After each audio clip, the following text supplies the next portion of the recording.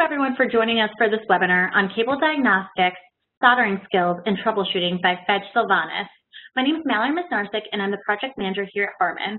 A few things before we get started. Everyone on the call is muted to keep down noise levels during the webinar. However, there is a chat function where you can submit questions to the presenter, and he'll try to answer as many as possible at the end. This webinar will also be recorded, and a link will be made available a few days after this presentation. We do have a number of other webinars taking place over the next few months for audio, lighting, video, and control, and we encourage you to look at the different webinars in our Learning Sessions workshop series on pro.harman.com, as well as visiting Harman Professional University to see our many on-demand and certification courses that are available to you for free. And now I'd like to introduce you to Fedj, the presenter for today's webinar. Currently the Chief Repair and Fabrication Technician at Rat Sound, Fedj has over 40 years of experience as a front of house and monitoring engineer, a tour and production manager, technician and electrician for artists including Akon, Aretha Franklin, Patti LaBelle, Toto, Primus, Fishbone, and Red Hot Chili Peppers. And I'll pass it over to you, Fedj. Why, thank you, Mallory. Hello, everybody. My name is Fedj. And before we get started, I have a little greeting from my good friend Dave Rat.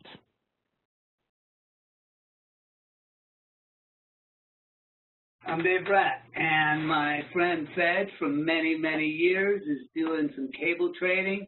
He's been our tech here for quite a while at Rat Sound, and uh, you got to check out what he's doing.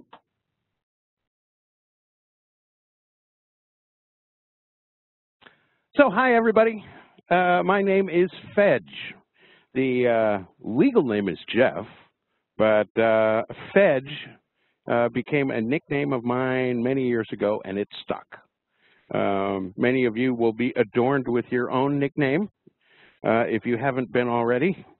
And um, it comes in real handy in our end of uh, the business with uh, being recognized in an instant. So just get used to it. My name is Fedj. Um, I wanted to talk to you today about, um, uh, well, first, let's get this out of the way. Um, I wanted to uh, thank JBL Professional and Harman for putting all of this together. Um, it's an honor to uh, reach out to all of you and um, get some training going on with everything else that's going on in the world these days. Um, I also wanted to thank uh, Smoke and Mirrors for allowing us the studio and all of the equipment to put this um, webinar together.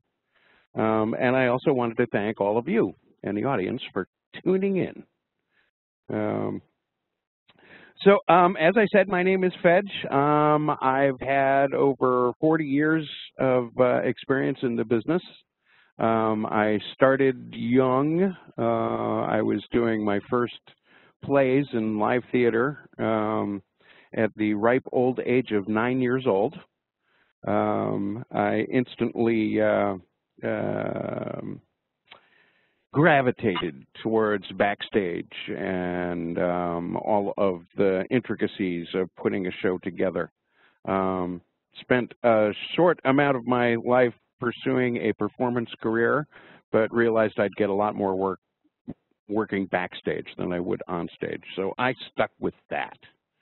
Um, I transitioned to music, um, live music, and most of my experience, um, uh, most of my experience has been with the live stage.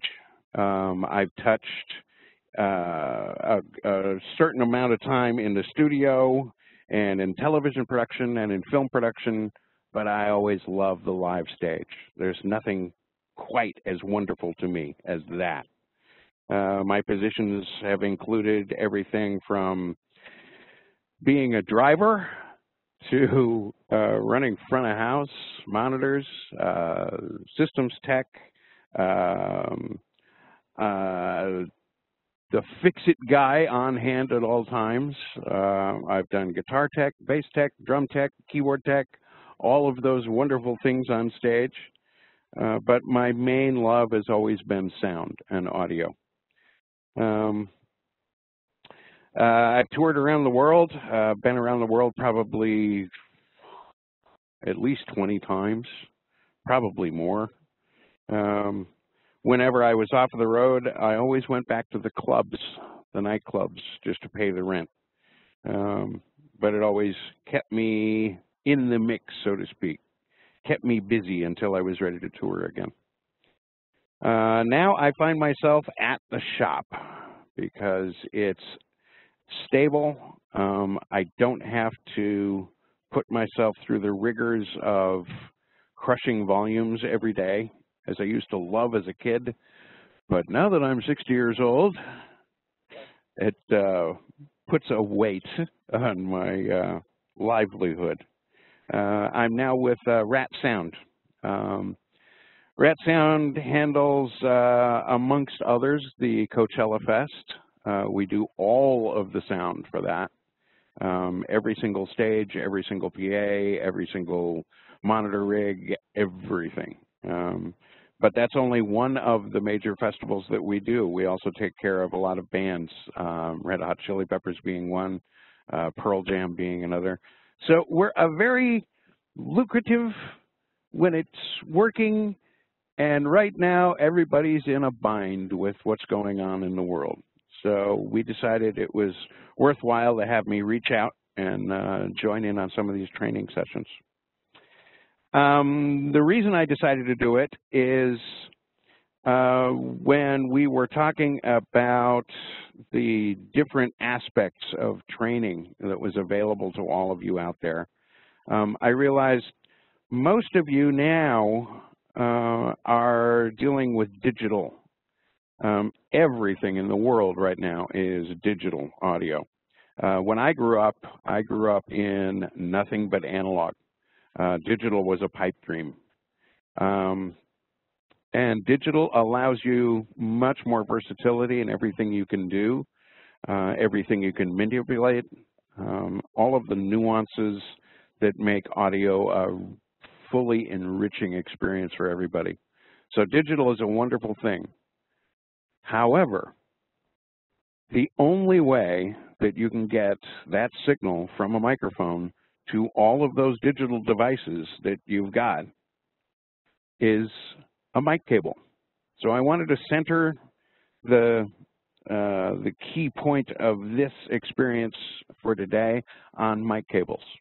Now we only have an hour, um, so perhaps in the future we can get on to uh, digital cables, we can get onto speaker cables, we can get onto any multitude of the other cables that there are that you need to know to provide every aspect of audio. Uh, I'm going to keep everything to the um, uh, perspective of a live stage. Um, I'll touch a little bit on studio, but most of what I'm going to explain to you will be what you need to know to put on a live performance. So let's get started. The first thing you need to think about is the amount of tools you are going to need um, to be able to not only uh, fix anything that goes wrong, but also to um, diagnose anything that might be trouble. Um, and with all of the uh, uh, devices that are available out there. There's a wide variety of tools, but I'm going to limit it in this explanation to just what you're going to need to work with mic cables. Um, you'll need, um, well, let's start at the top of the list. Everything requires paperwork, and I've got everything written on paperwork so I wouldn't forget. Uh, first on the list is a meter, uh, a multimeter. Um, it's a standard issue thing. You can find it at almost every electronic store. The basic components of it go from uh, voltage testing to resistance to um, continuity. And continuity is the main thing you're going to need out of that meter. So if it does anything else, that's great. But the main thing is you want something that can show you continuity, a continuous signal from one end of a line to the other. The next thing you need is a cable tester. Now there's a wide variety available on the market. Um, uh, at the shop we use the um, the Whirlwind um, variety as our main uh, tester. The um, uh, this one in particular has the availability to check XLR cables as well as speaker cables, two different varieties. Um, they're a wonderful tool to have and they're a great thing to have at your shop, but the only trouble with them is you need both ends of the cable at the box. Uh, as long as you're working in a shop environment or in a isolated location where you can get to both ends of a cable, these are wonderful. However, when you're working on a live stage, a lot of times you will find that the cable you're trying to look at, trying to diagnose, will be already laid across the stage. And that's where this wonderful little tool comes in. And uh, let's go to uh, that tight little shot. This is called a sniffer sender. It's made by Sound Tools. Um, and if you'll notice, it has XLR ends, a male and a female.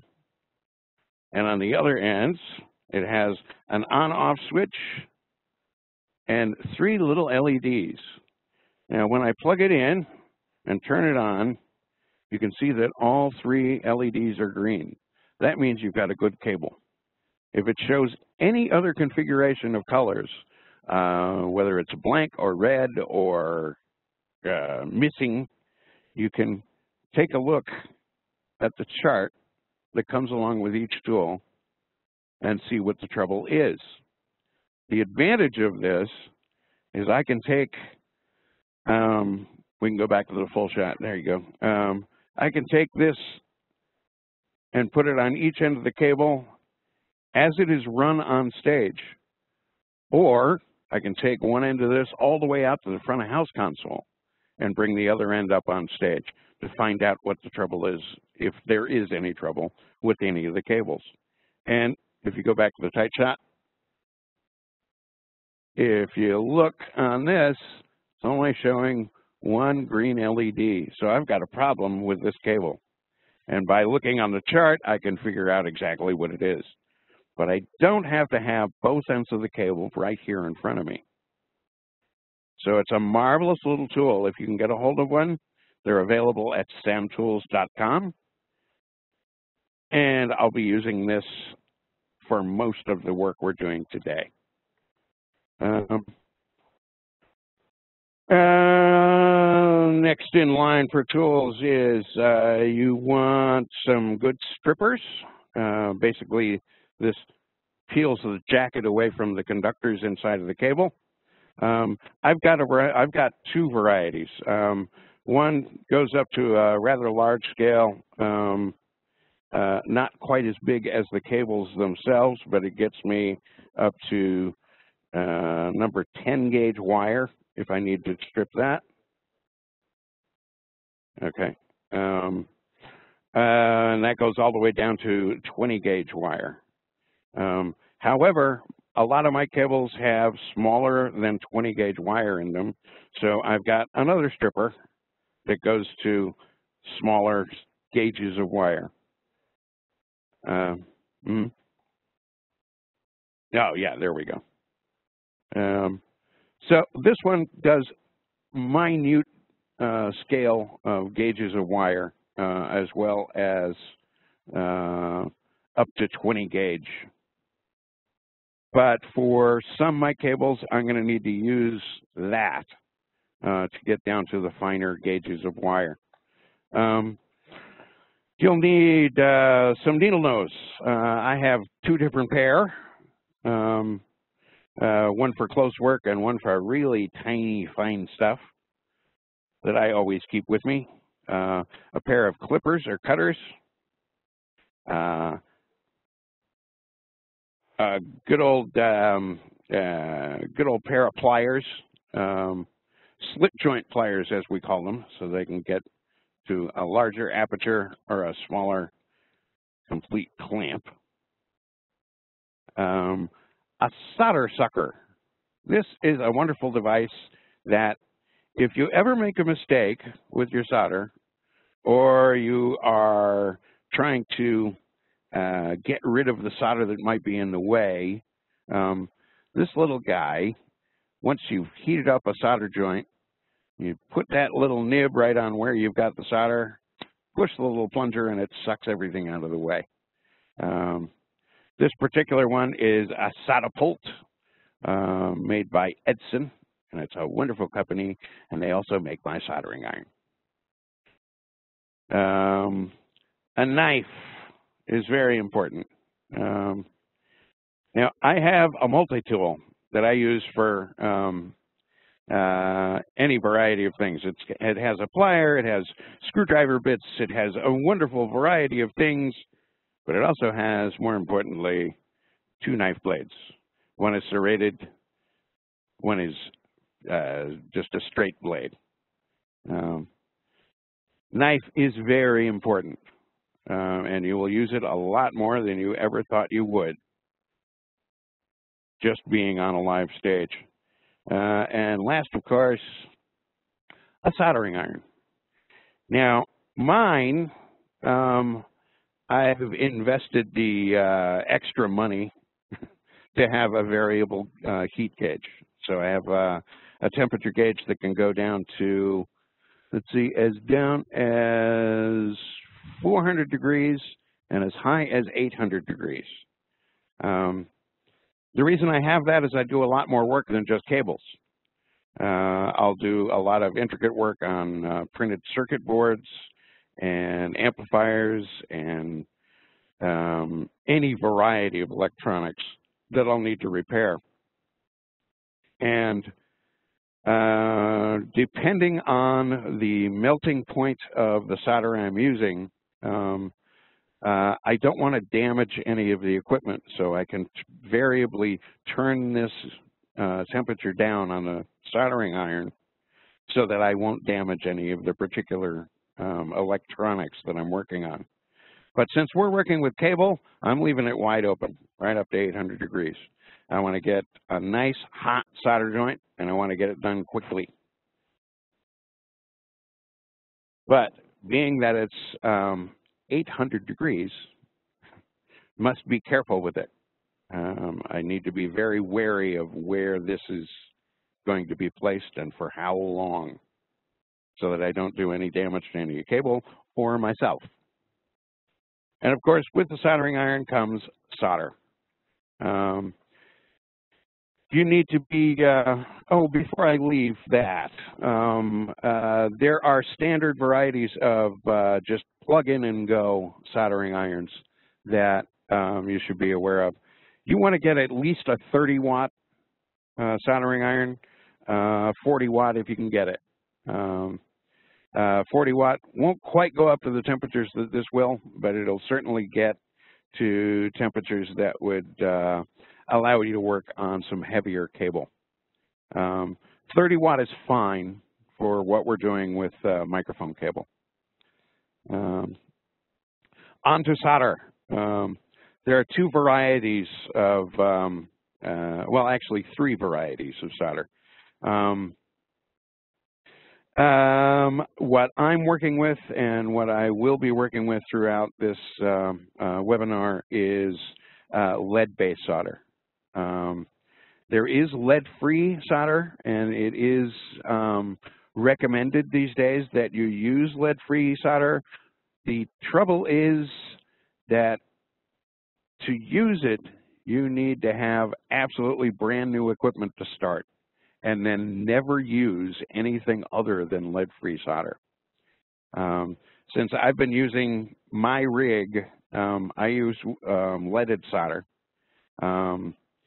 Which is dangerous to breathe in the fumes. So you must make sure you're in a well-ventilated area. Um, for my work right now, I've always got a fan uh, blowing across any place that I need to work um, on any of the solder. Um, it is advisable um, for health reasons that you get used to working with lead-free solder, uh, but as long as you're following safety precautions um, I find that uh, leaded solder is easier to work with. Uh, it melts quicker. Um, and it creates a tighter bond um, with less heat. Um, so what we're working with is leaded solder. There are a variety of um, uh, components that make up the solder. There are different contents, and you can look up at the store or the manufacturer what you want um, as far as those contents. Um, I believe mine is, and it's always written on the side of the spool, um, what the content of the solder is. Um, they'll give you a content of how much lead, uh, how much tin, and um, I'm trying to look. Mine is 3.3% lead and 44% tin. Um, there are different gauges as far as width of solder.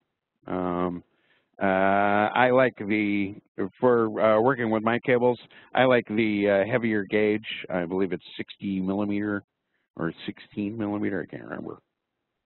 Yeah, at any rate. Uh, oh, 0.6, 0.6 millimeter. There's also very fine, thin solder that you can get. Um, and that's very good for doing uh, light gauge wire. Um, if you're if this is your only choice, it can certainly do my cables. It just takes a lot longer piece of solder as you're making the connection. Um, there are also two different, well, there are three different types of um, uh, let me rephrase that. there are two different types of cored solder. They have uh, either a rosin or acid in the core right down the middle of the solder, um, and that is to take the place of the old-fashioned original solder that is um, that has no core at all and you um, require flux Flux is either acid or rosin core, um, or, I'm sorry, acid or rosin base. And all, uh, all flux will do is clean off all of the metal, um, uh, either on the conductor end on the wire um, or the terminal end, your connector, um, so that you can get a nice, clean, solid solder connection. Uh, the advantage of using the cored solder is you don't need the separate flux. It's already got it inside of the solder. Um, now, a lot of you have probably um, already learned a lot of this. Um, so uh, sorry for the review, but it's very important for those that are just learning uh, to know this. Uh, along with all of those wonderful things, um, you'll need a way to clean your soldering iron. Um, it's two different types. There's a sponge that you just get damp with some water, and that'll wipe off the excess dirt and gunk and debris that collects on the soldering tip. Or the one I like, which is brass wool. And you just basically can jab the end of the uh, soldering iron in there and it'll remove all of the debris. Um, it's up to you, whichever you like, you know, but you need it to clean off all of the dirt when you're ready to make your solder connection. Um, uh, lastly, as far as tools, what you will need when working with mic cables is a set of jeweler's screwdrivers, if you want to get in a tight shot for that. Um, uh, basically, it's small gauge screwdrivers, Phillips and flathead. And the reason you need those is because um, you are still going to run into the original um, uh, old-fashioned style connectors somewhere along the way. Um, the newer connectors, um, the most popular is Neutrik. Um, and that comes, it, it, needs no screws at all. Um, everything is, uh, every part on the connector is um, uh, attachable or detachable by hand, um, and no screws required. Uh, but when it was originally designed, and this would be a good time to go into it. Um, there's a little history of the XLR cable. Um, and I have an example of one of the originals. Go to that little tight shot there. This is the original XLR cable. It was made by a company called Cannon. And when I was a kid growing up, um, they used to refer to the mic cables as Cannon connectors. Um, uh, XLR became the common expression. Um, Cannon, when making um, when making the connector, uh, the original microphones that they were using were um, uh, as much as 600 volts running through the line. Um, and they had a rather beefy connector, um, uh, more than a couple of inches in diameter in some cases. But they wanted to make something that was more compact and more easily um, uh, removable and repairable. Um, they came up with the X connector, and that was the three pins that you'll see on an XLR uh, but it didn't have a latch. So the X connector with a latch became the XL connector. And then they decided to rubberize the insulation around the pins, and that became the R in XLR. However, um, everybody still calls the connector an XLR, even though now we're plastic parts and uh, we don't have any of the original uh, screws and stuff that hold down the clamps and all of that. But everybody calls the connector an XLR connector. Um, to give you an example of why, there's this wonderful thing. Everybody knows this as a crescent wrench. Well, the actual name for it, when it was originally built, was an adjustable spanner. But nobody calls it an adjustable spanner. It was originally made by the Crescent Tool Company. So everybody got used to calling it a crescent wrench. And no matter who makes it now, and there's a multitude of manufacturers, everybody refers to it as a crescent wrench. Same thing goes for the XLR. Even though you're not uh, buying a connector made by the Cannon company any longer, it's still called an XLR, just the same way that they call uh, the crescent wrench a crescent wrench.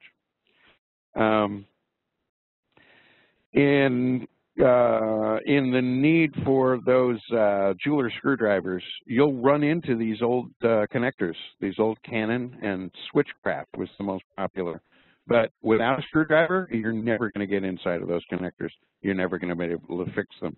You may as well buy new connectors, clip off the ends, and solder to new um, solder new connectors on them. Um, the most popular these days, and because of all the things I mentioned, um, these are uh, uh, you can put on or take off these connectors, open them, uh, do all of the wonderful things you need to do inside of a connector completely by hand. Um, there's no screws involved. Um, Neutrik, I'm, I'm, sorry, Neutrik. I always add an X there for some reason when I think of them. Uh, uh, Neutrik came out with theirs. I'm not sure the year, but once it took over, um, the industry was engulfed with them. They were much more versatile, uh, less moving parts for you to have to deal with. Um, uh, and the most wonderful thing about them is their strain relief has a little slit on the side. I'm going to go to a tight shot here so you can see it. getting a good lighting angle there. There's a little slit there. So you can put this on at any time during uh, the course of making the connection. Now, there's also another company popular, um, and the reason this company became popular is this is the company that bought Cannon, or bought the manufacturing rights to make the Cannon connectors. This company is Amphenol, um, and they make the same XLR uh, connector, but with a slight variation in that their strain relief doesn't have a little slit on the side. With the tight shut, you can see that. Um, so there's no little gap on that. And I'll show you why that's important in a minute. But Amphenol is actually the company that relates directly back to Cannon, the original manufacturer. Um, so, uh, to start, uh, let's see, have I gone through all the tools we need? Uh, I talked about the fan, talked about that. Uh, tape measure. Tape measure is always a good thing to have. Uh, so you can check by reference as to how much of the end of the wire you're stripping off, uh, how much of the conductor you're leaving for the solder connection. Uh, you can also stretch it out to check the entire length of the entire cable. Um, and I think that's the end of my list of tools. Indeed it is. So let's get to some soldering. Um, along with everything else that you're going to need, um, make sure you start, if you want to start a brand new cable, make sure you start with both ends of the cable uh, at your beck and call. This happens to be a pre-cut 25-foot piece of cable. Um, 25 feet seems to be the industry standard for um, regular mic cables that you would use across the stage. Um, other common lengths are 10 feet, 5 feet, 50 feet, and 100 feet. Um, there could be any uh, variety of length within those two, but those are the industry standards. It's what you're going to run into most of the time. Uh, 25 feet seems to be the most popular because it gives you uh, versatility to get from uh, any location on the stage um, uh, within a reasonable length. Um, if you're stuck with 10-foot cables and you need to get all the way through the, across the other side of the stage, you're going to need a multitude of 10-foot cables. Whereas with a 25-foot cable, four of these cables together and I've got 100 feet. Um, and that can get you all the way across stage and then some. But 25 feet seems to be the most common uh, amongst all cables. At any rate, uh, to start with, I want to make sure I've got both ends of the cable and they're both clean and I've got a nice cut clean end on each. Uh, before I start uh, stripping the cable, before I do anything else, I want to make sure I have the boot, as we call it. This is the cap. This is the end of the assembly on an XLR. Um, uh, without putting this on the cable first, you will find yourself with a wonderful solder job on a beautiful connector and no way to close it up. So before you ever even start, make sure you put the boot on the cable. I'm going to be doing a male end on one side, a female end on the other. So I'm going to make sure that I've got my male end and female end open, ready, waiting, and both ends of the cable have the boot.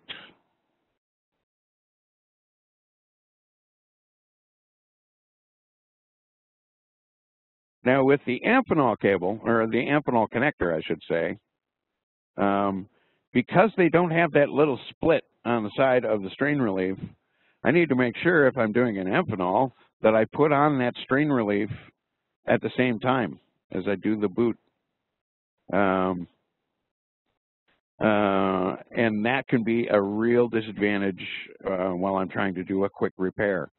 That's why we prefer the Neutrik, because anytime after I finish the solder, uh, solder connection, I can slip that uh, strain relief uh, back on the cable and complete the connection. The only thing the strain relief does is grabs the outside of the jacket and prevents it from pulling out of the solder connection that you've just made. I'm down to 10 minutes, so I got to hurry. Okay. Using my knife, I'm going to use my straight blade, and I'm going to allow for uh, the amount of uh, cable I need, or the amount of the conductor I need to make the connection plus a little bit. And I'll show you why in a minute. So I'm going to go ahead and strip this down, just the outside jacket, until I can just see the copper of the shield.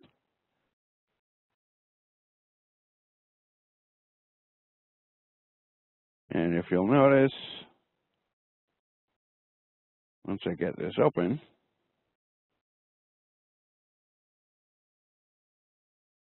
um, this is really nice cable. Um, you'll find a variety of cables that are not so good, uh, but the best way to tell that you've got a good cable is um, uh, the outside shield. This is a nice braided shield. Um, it's very strong, very durable, and completely wraps around the inner conductors. There are three conductors in a mic cable. The shield, um, uh, and two wires inside. Uh, one will be uh, what we'll call hot, and one will what we'll call neutral. Um, uh, the importance of that will come in um, in just a moment when I get to the connector. At any rate, to get to this, to make sure it's all ready to go, I need to separate that braid. So with a knife blade or a small screwdriver, I'll start at the very end and start undoing the braid.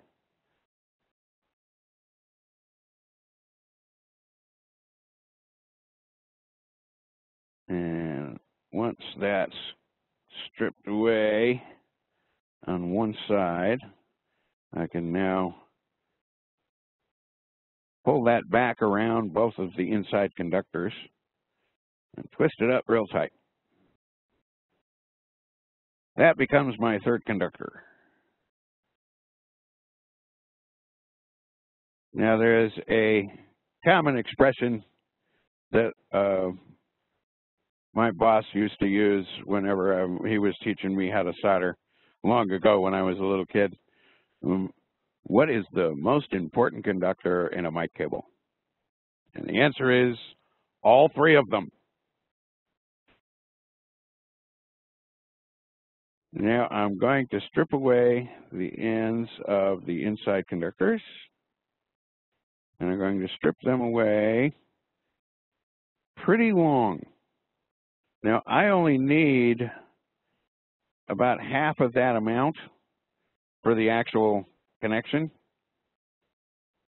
And it looks like, yeah, I'm all right. Um, but when I'm finished preparing this, um, I want all three of these ends to be exactly the same length.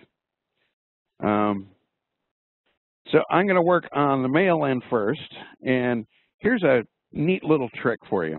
Um, if you notice, I've got um, uh, two ends of a mic cable already here in a vise. Um, I didn't mention the vices, the tools you need, but it's always a good thing to have the vise uh, to hold things steady. Um, you'll notice, though, that I put two ends in the vise, um, and those are to receive the uh, uh, the innards of the connector I'm about to make. Um, the reason that's important, if I were to just try and make the solder connection on the end with just these, these get very hot and they will burn your fingers. Or you can lay it down on a table and it'll roll around and it'll be, it'll be really hard to make the connection. So I always have that to hold the connector in place. Um, at the shop, I've actually got an old uh, stage box that has rows and rows of males and females, so I can work on multiple cables at the same time. But for right now, I just want to work on one. So I'm set up in the vise with another old mic cable just to use to hold the, the pieces together. Um, at this point, I'm going to tin the ends. I'm going to put a reasonable amount of solder coating each of the connectors, or each of the conductors, I'm sorry. Um, so on the tight shot, and I'm going to change my other glasses so I can see better. Um, you'll notice that I've got a reasonable amount of solder on each of the three ends. But when I put all three ends together, you'll see that they're not all the same length. So before I make the connection, I want to trim those off to the exact length that I'm going to need for each of the terminals, each of the three terminals. Now you'll notice on the vise, I've marked where pin one is. There are three, uh, three terminals on the connector. Um, pin one is on one side, pin two, which is hot, uh, and pin three in the middle.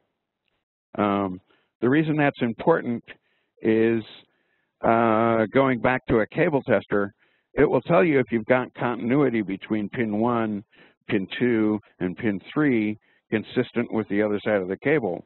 However, pin 1 is the ground, is the shield that isolates, or insulates, I should say, uh, the inner two cables from picking up radio frequencies, interference, uh, magnetic disturbances from power and such. Um, that's why the shield is wrapped all the way around these two cables, uh, these two conductors, I should say. Um, so it's important that pin one on one side of the cable um, uh, coincides with pin one on every other cable in the world so that we can make sure the shield is hooked up to the shield on every other cable. Um, though the tester may show uh, continuity between pin 1 and pin 1 on the other side, pin 2 and pin 2 on the other side, pin 3 and pin 3 on the other side, if um, if the shield is accidentally soldered in the wrong position, a cable tester won't tell you that. You need to actually inspect and see that that cable has pin 1 with the shield on it. Now, before I make the rest of the connection, I'm going to tin the terminals. I'm going to add a little bit of solder, just enough to make the connection. And with that, and making sure I've got my boot on my cable, I'm ready to make my connections. Um, as far as the color codes that you would use, uh, because different manufacturers of different wires uh, different cables have different colors that they use for each of uh, for each of their cables.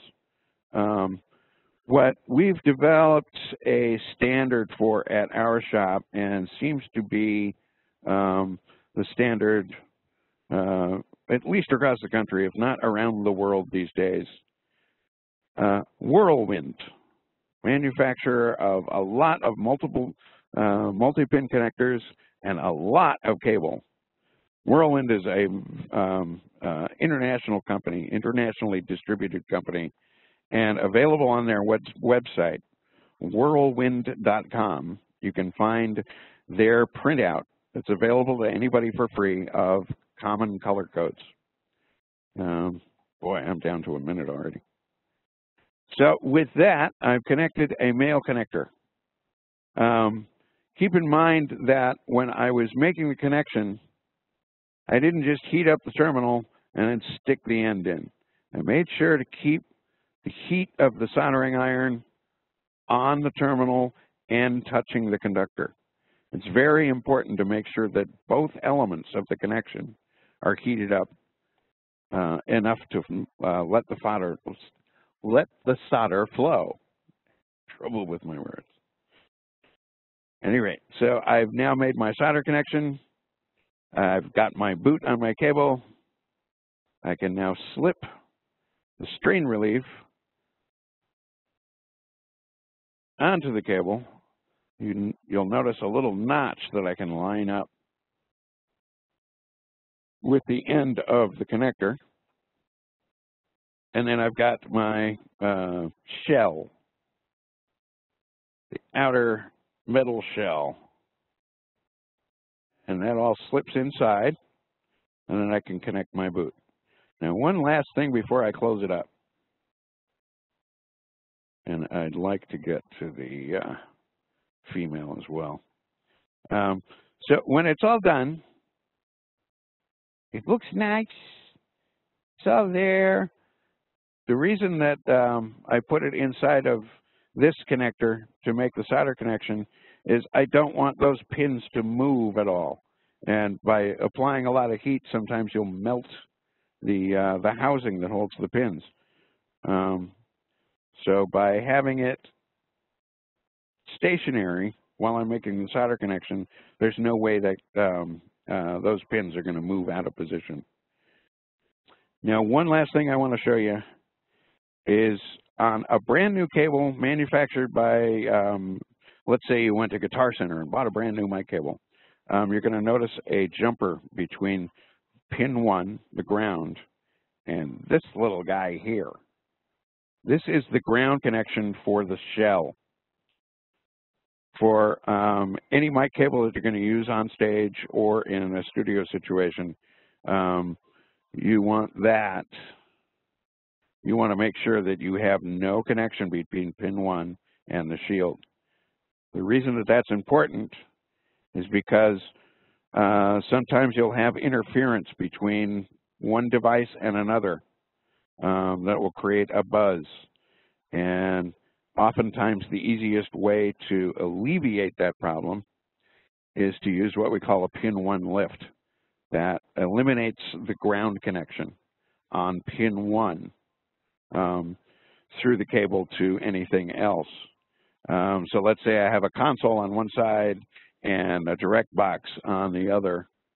Um, uh, uh, direct box being a transformer um, from a uh, guitar cord or a bass or a keyboard or any other electronic instrument.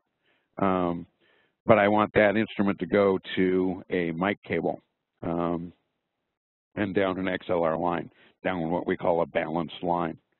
Um, if the uh, uh, if the signal has a buzz on it, uh, what we call a ground buzz, um, which is an annoying interference, um, we can use a pin one lift to get rid of it. But if the chassis is connected um, uh, in the XLR um, to pin one, then we're still making the ground connection, and that pin one won't eliminate the noise. And I have run out of time. Um,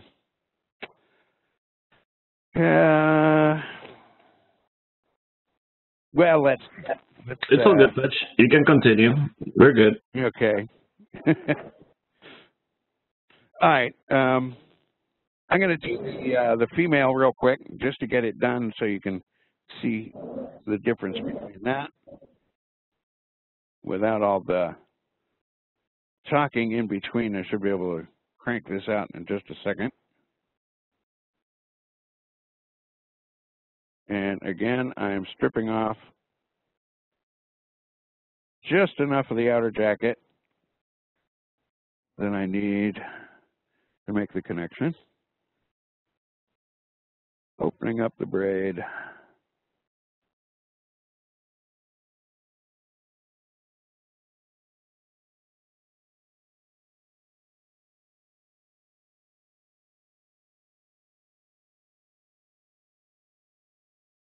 stripping off my ends.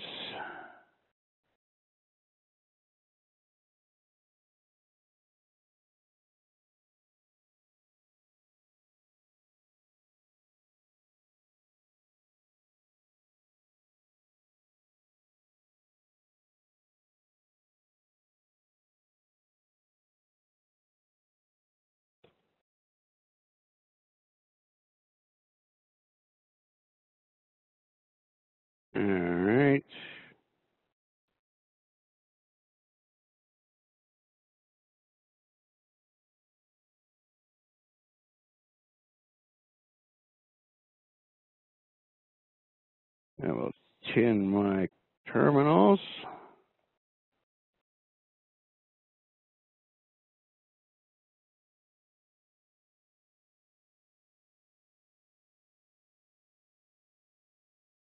and then making sure that all three of these conductors are exactly the same length. The reason that's important is because when stress comes to this cable, I don't want one being too short or that will, um, uh, the other two will pull out, um, uh, will pull out of the terminals before the other one does. I want all the stress and all the strain to be the same on all three conductors.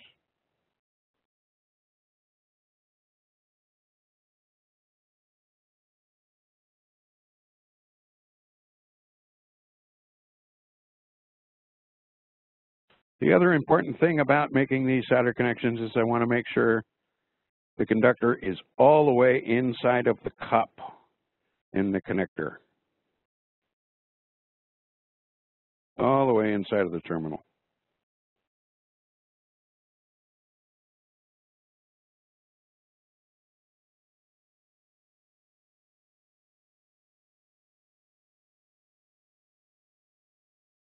And when I'm finished,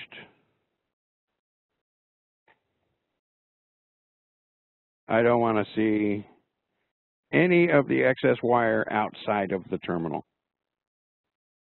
I want to make sure the insulation on each conductor is going right up to the terminal. And I snap on my strain relief, snap on my shell,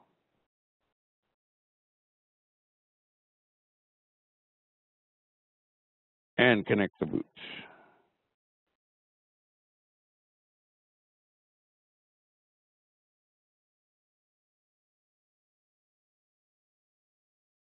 Now I'm ready to test the cable.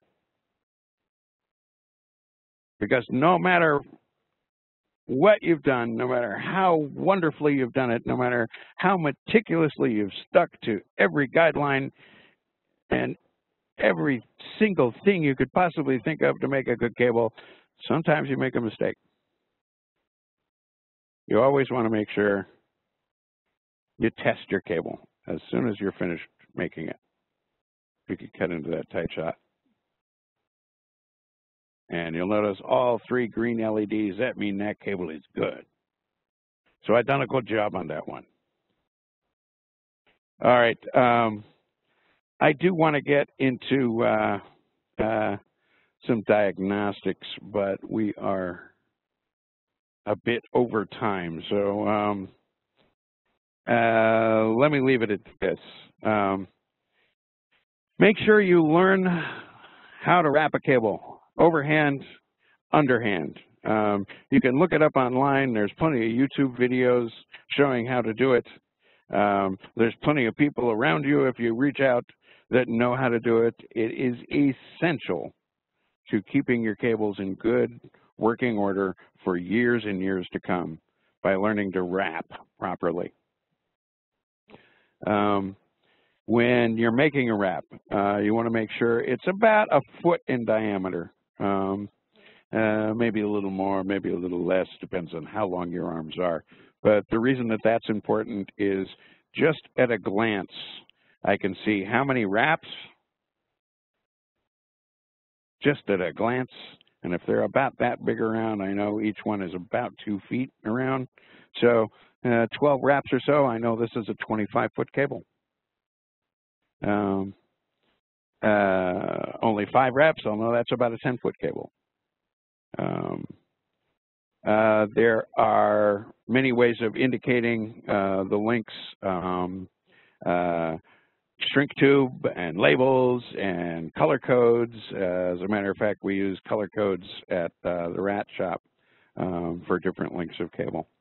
Um, uh, all of that needs to be decided before you've made your connection as far as labeling. Um, but it's very important to learn how to wrap a cable properly.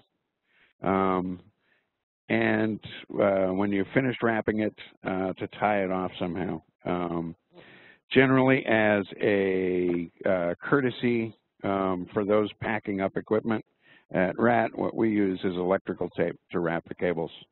uh, to grip the cables. There's also Velcro wraps. There's also tie line. There's a million ways to keep your cable uh, uh, tied and and ready for transport. Um,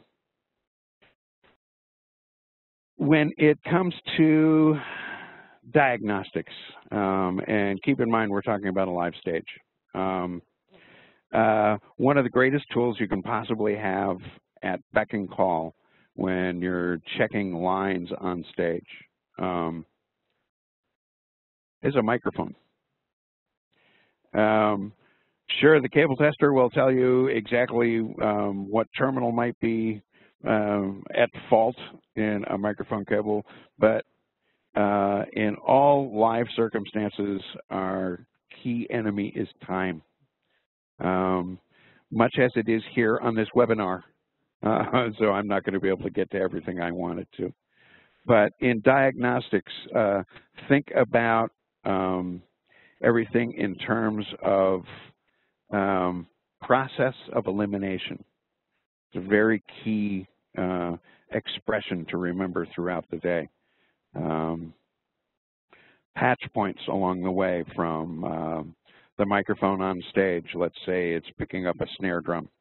Uh, uh, it may be patched to a stage box, which may be patched to another stage box, which may be patched to another and another, all the way back to the main panel before it gets to the console. Um, so if there's a problem with the line, it could be anywhere along any one of those patch points. Uh, fastest way to find where the problem is, grab a microphone. Unplug the cable from the microphone it's supposed to be working. Plug in the microphone that you know works. Check it again. Does it, does it work? If it doesn't, go to the next patch point. Disconnect the cable, plug in a cable that you know works. Check it. Does it work? If it doesn't, go back to the next patch point. Um, all the way back. And sometimes you will find yourself with the uh, the end all, save all, be all, have to do it, there's no other way to get it done, what we call a home run. Uh, generally, they'll grab a 50 to 100 foot cable and run it all the way from the split or the panel um, which gets the signal directly back to the console, all the way across stage, bypassing all the stage boxes and every other patch point just to get that one microphone working.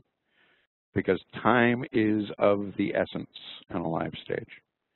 Um, I'd like to go into more, but um, uh, I do want to leave some time for you guys to ask some questions. Um, and I'm way over time, so uh, if we can leave it there and maybe get back to um, another session sometime to get into some more detail, that would be great. But I do owe it to you guys to answer some questions if you have any. What is AES cable? Ah, good question, and I'm sorry I didn't get to it in time. AES is uh, digital cable. Um, it's manufactured, oops, sorry. Um, it's manufactured specifically for um, digital audio. Um, uh, and I have an example right here. Um, uh, the difference is um, inside of the cable there is a particular rate of twist uh, of the two conductors inside of the shield um, specifically rated for digital transmission. Um, keep in mind that digital cable is perfectly um, uh, perfectly fine to use for audio signal, um, analog signal, uh, regular microphone to a console. Um, I'm sorry? Oh, okay. um, uh, digital cable is perfectly capable of transmitting um, audio signal, um, analog audio signal. However, uh, standard mic cable, um, uh, though it can transmit the digital signal, does not do a very good job of it, um, and you will end up with signal loss. But AES cable um, is specifically designed for digital transmission. Um, and it is always written right on the outside. Boy, I don't know if you're going to be able to see it even with a tight shot. Um, uh, not really. Can you? Oh, okay. Um, it will be written on the fine print along with the cable somewhere along there. Uh, AES. Always look for that. Those three letters. Uh, it can also use be, be used for DMX cable. Uh, generally, that is uh, 300 ohm. Uh, some of it's 150 ohm. Generally speaking, we use 300 ohm cable for AES. Perfect. Um, one came, uh, another question came in following that to go off of this. Can you tell us the difference between AES and regular XLR cable? Uh, certainly. Actually, I just kind of covered it in that last description. Um, um, uh, it's the same copper being used for each of the terminals. It's the same configuration as far as a shield wrapped around two, um, two conductors uh, to eliminate any interference. The only difference is there's a certain rate of twist of those two um, uh, inside conductors. Um, uh, much the same way as in Cat5 cable. You've got uh, four pairs of wires inside of Cat5. Each pair has a different twist, has a different rate of twist uh, through the cable so as to uh, prevent interference between uh, the data down one pair to the other. Um, but also uh, in the context of the transmission rate of the wire. Um, without that twist, data is going to get distorted um, inside of a regular analog cable. And that's why it is so important to have AES cable um, to perform the duties uh, that you need it to for digital. Great. So we have a couple more. Um, do you use quad cable very often? Not very often. Um, uh, uh, quad cable being um, uh, four conductors uh, wrapped with a shield. Um, it, uh, I believe Canare is a popular brand that makes that. Um, I believe Mogami makes um, uh, quad cable as well. It's kind of sort of think of it as an extra assurance.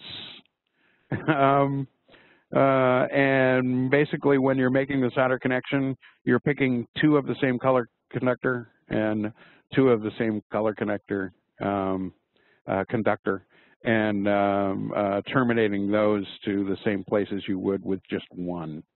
Um, but it gives you some reassurance in case there was trouble down one conductor, uh, the other one there to sort of pick up the slack. Uh, but it's also um, uh, a versatile thing to have as far as if you're doing multi-pin connections. Those conductors are available to you. It's just very hard without a meter to tell which is which. But yes, um, quad cable is available. It's um, uh, a little more expensive, um, has a tendency to extend the life of your cable by using it, uh, but it's by no, no means uh, absolutely necessary. Okay. The next question is, what was the product name of the mic tester? Ah. uh, the mic tester I always love to use and is my first choice is called the Sound Tools Sniffer Sender. Uh, they make one, uh, this one is for an XLR, as we were just working with.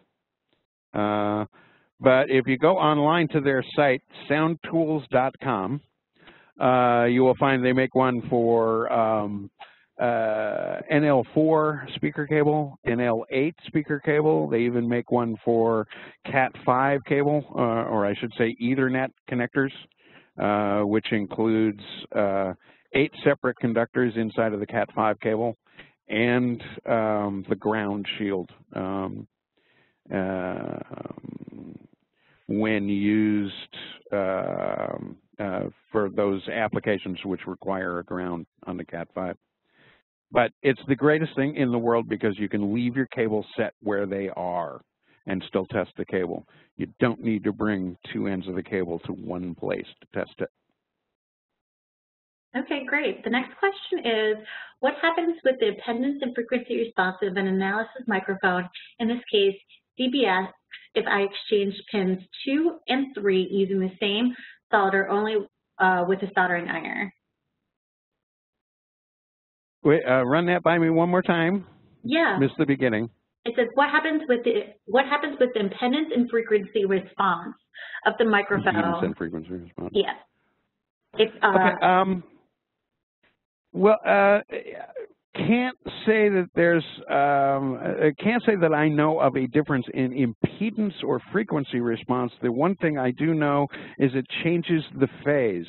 Um, in the, uh, and we're talking about an audio signal, an analog audio signal. Um, uh, by switching pin 2 and pin 3, you've changed the phase. So when the diaphragm and a microphone is going in, um, the uh, signal generated would say uh, back at the console that the, the, diaphragm is moving out. Um, now in AES, I am not certain if there is a um, uh, a difference in the data transmission. I'd have to look that up myself. Um, but as far as analog signals, changing uh, pin 2 and pin 3 uh, would only change the phase. Um, uh, that can be a hindrance or a blessing depending on the circumstance.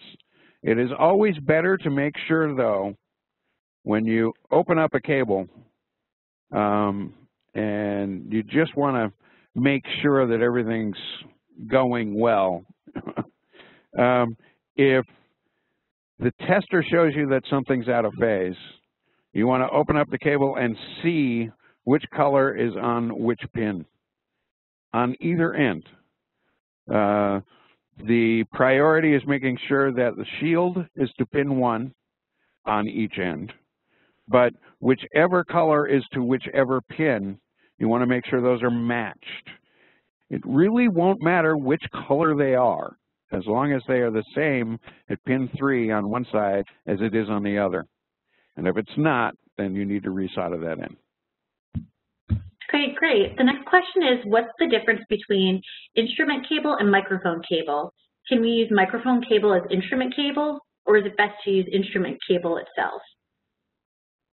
Uh, uh, microphone cable can be used for instrument cable, um, and you'd have to look this up on your own. Uh, there's a lot of information on it. Um, it's the difference between uh, high impedance signal and low impedance signal, or unbalanced being high impedance, uh, and balanced signal. Um, there's a difference in the um, uh, the gain of the signal coming down the line with a mic cable um, and with an instrument cable. Um, or uh, let me rephrase that. There's a difference in the uh, volume being generated to be sent down an instrument cable than there is down a mic cable. Uh, mic cable is perfectly capable of sending the signal that way. Um, uh, there's an extra conductor involved um, that is not necessary for an instrument uh, to use um, for high impedance uh, or an unbalanced line.